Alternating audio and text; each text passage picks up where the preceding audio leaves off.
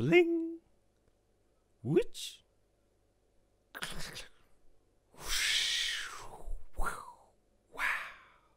Hi, mein Name ist Tim Soart und ich habe das Yu-Gi-Oh! Sammelkartenspiel mit dem Erscheinen von Legends of Blue Eyes White Dragon in Deutschland angefangen. Habt ihr eine ähnlich lange Geschichte mit dem Spiel? Dann wird euch dieses Video sicher gefallen. Oder auch einfach, wenn euch interessiert, wie das Spiel von 2003 bis 2004 so war. Ich gucke selber bei anderen Kartenspielen gerade viele nostalgische Videos mit alten Karten, kleines Shoutout hier an Dr. Alzheimer, und dachte mir, zu Yu-Gi-Oh! kann ich das auch gut machen. Vor allem, weil ich so erzählen kann, wie es war, das Spiel als 11- bis 13-Jähriger zu spielen. Hier seht ihr das wieder ausgegrabene Deck und wenn ihr einfach nur die erste Karte anguckt, wisst ihr schon, das kann nichts Starkes sein. Biomagier, ein nicht wirklich gutes Vanilla-Monster, aber das Artwork ist ziemlich nett.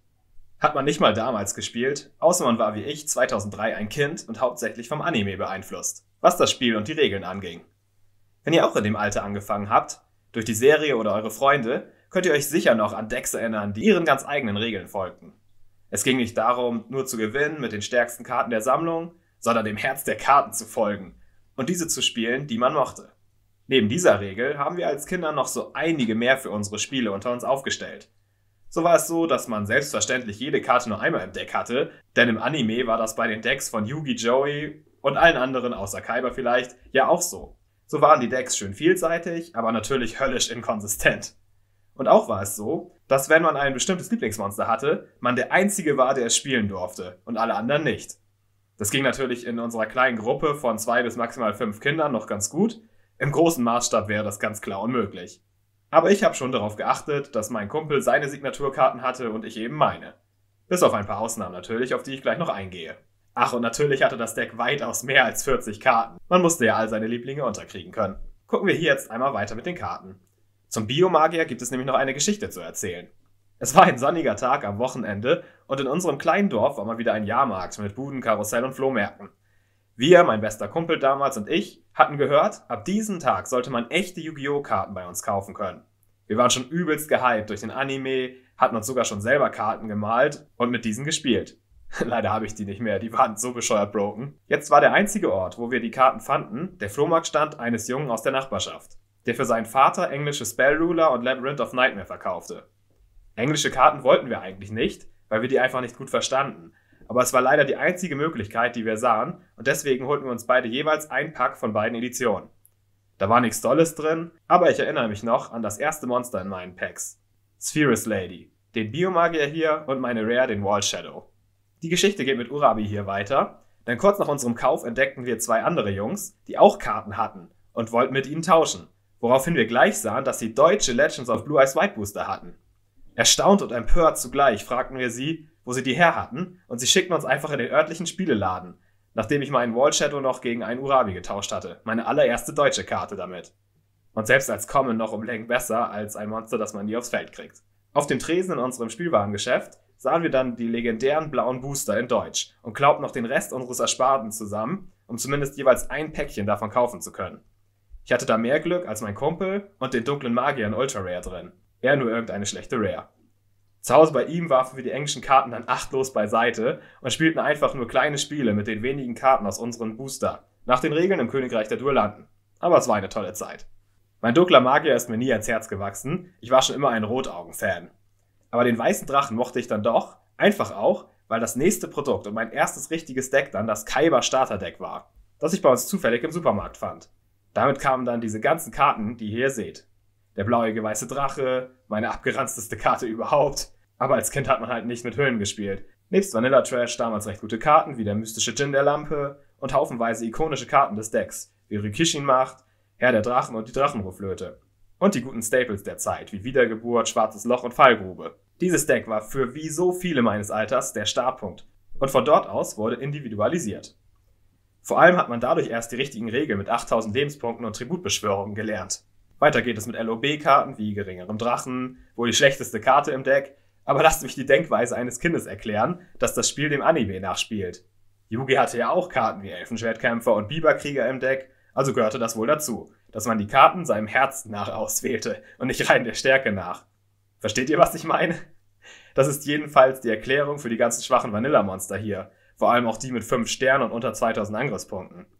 Es ging einfach nur darum, dass einem die Artworks, der Name oder der Typ gefielen und man hat sie gespielt. Mein Deckbau hat sich damals auch ziemlich am Deck meines besten Kumpels orientiert und während er mehr die Krieger, Ungeheuer, Maschinen und Insekten in sein Deck packte, waren es bei mir Feen, Dämonen, Drachen und Vögel, wie man hier sieht.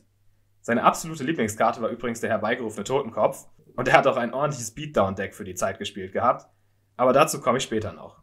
Ich will hier gerade einfach nur die richtig schlechten Feen hier erklären, die ich nur drin hatte, weil es keine besseren gab. Und noch eine Anekdote dazu. Leider habe ich sie hier gerade nicht mehr in meiner Sammlung, aber ich wollte damals unbedingt die halbwegs ordentliche Fee Flügelweber im Deck haben. Mit 2750 Angriffspunkten fast so gut wie der weiße Drache und hatte ein Hammer Artwork. Leider habe ich sie als einfache Common nie gezogen aus Pharaoh's Servant und man konnte sich mit dem wenigen Taschengeld nicht einfach noch ein Booster kaufen und sowas wie Einzelkartenkauf gab es bald sowieso nicht. Deswegen habe ich damals tatsächlich mit einem Mitschüler meine Secret Rare Jinzo gegen drei Commons getauscht. Flügelweber, Schildkrötenschwur und die Krabbenschildkröte. Mit den beiden wollte ich ein Wasserdeck für meine kleine Schwester bauen. Mir war klar, dass das der schlechteste Tausch meines Lebens war.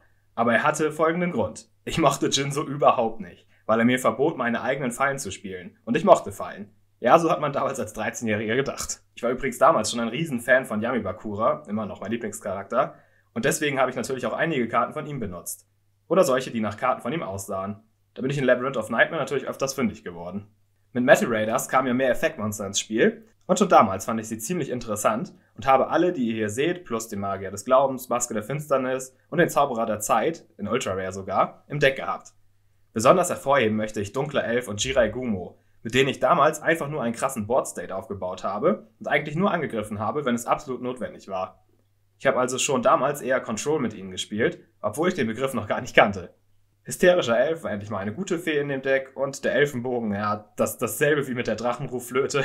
Man sieht als Kind nur das optimale Kombopotenzial solcher Karten oder die Momente, wenn es gut funktioniert und ignoriert die vielen Male, wo sie tot auf der Hand sind, weil man keine richtigen Monsterkarten dafür parat hat. Weiter geht es mit eigentlich ganz brauchbaren Ausrüstungskarten, von denen man damals ja viele gespielt hat. Stimpack und übelwollende Hatchler spiele ich heute noch gern in Games mit alten Cardpools und sie waren die wirklich passenden Zauber für meinen Stil von Deck genau wie Elf Meteoreinschlag. Mein Hauptgegner damals hat wirklich viele Ausrüstungen gespielt, weswegen ich da ein bisschen mitziehen musste. Dadurch waren auch lebender Trank und Keiminfektionen gern gesehen auf meiner Hand, wenn man damit halt Voltron-mäßig aufgepowerte Monster lahmlegen konnte. Berg war der obligatorische Feldzauber für mich und ewige Ruhe eine meiner Lieblingskarten, weil ich damit gegen das Equipment-Beatdown-Thema meines Kumpels immer eine ziemlich gute Antwort hatte. Angebote an die Verdammten war meine Antwort auf den Jinso, den ich dann irgendwann auch öfters bekämpfen musste, und Spalt hat sich auch fast immer als gut erwiesen. Ich hatte sogar das Glück und mystischer Raumtyphoon und Topf der Gier fanden einfach als seltene Karten in meinen wenigen Boostern ihren Weg in mein Deck. Überläufer war damals tatsächlich nicht so leicht zu kriegen, auch wenn sie einfach als Common im Yugi-Starter-Deck war. Aber jeder, der eine hatte, wusste, dass sie gut war. Mein Erzrivale hatte sie sogar in Ultra Rare aus Metal Raider und hat auch tatsächlich an ihr den Mai-Trick ausprobieren wollen mit dem Duft. Nur hat er das mit Deo versucht und wir haben ja ohne Hüllen gespielt. Ja, ihr könnt euch denken, wie die Karte nach dem Spiel dann aussah. Wie schon erwähnt, mochte ich Fallen und gerade die fiesen Unerwarteten wie Maske der Schwäche, Phantomabkommen und Elfenhandspiegel waren meine Favoriten. Babuko war ein netter Schutz, auch wenn wir sie wegen dem alten Text auch falsch gespielt haben. Und ich glaube, geringerer Goblin-Beamter hat mir mit Burn tatsächlich auch mal ein Spiel gewonnen. Vor allem, wenn ich ein Control-Board auf dem Feld hatte. Gerade hier nicht drin, weil in meinem Gold Cube ist mein Secret Rare magischer Zylinder, dem ich damals am allerliebsten knappe Duelle überraschend für mich entschieden habe. Übrigens waren die absolut besten Karten damals, wie Spiegelkraft und so, unter uns Kindern so selten, dass wir allerhöchstens einen kannten, der sie hatte, und es für uns okay war, wenn wir halt nicht derjenige mit denen waren. Dafür hatte ich dann meinen Zylinder, den ich teilweise sogar besser fand, wenn auch nur in seltenen Situationen. Meine letzte Story für heute kommt mit meinen letzten drei Karten hier. Wie schon erwähnt, ist der schwarze Rotaugendrache meine absolute Lieblingskarte.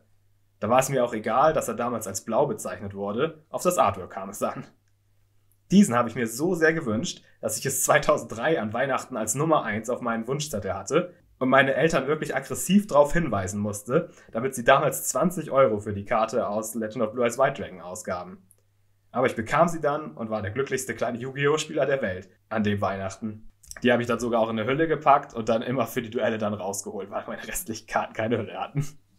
Aber wenn ich nicht gespielt habe, war sie dann in der Hölle. Jetzt habe ich ja schon erwähnt, dass der herbeigerufene Totenkopf oder Beauftragter der Dämonen, wie er im Anime so schön hieß, die Lieblingskarte meines besten Freundes damals war.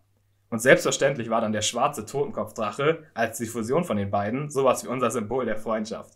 Den habe ich mir dann auch irgendwann damals ertauscht und der war damit meine einzige Fusionsdeckkarte. Damals hieß das ja noch nicht mal Extra-Deck. Und die einzige Möglichkeit, ihn auf das Feld zu bekommen, war dann die Finsternis Hex versiegelte Fusion und Fusionstor in meinem Deck, das ich leider im Moment auch nicht mehr hier habe.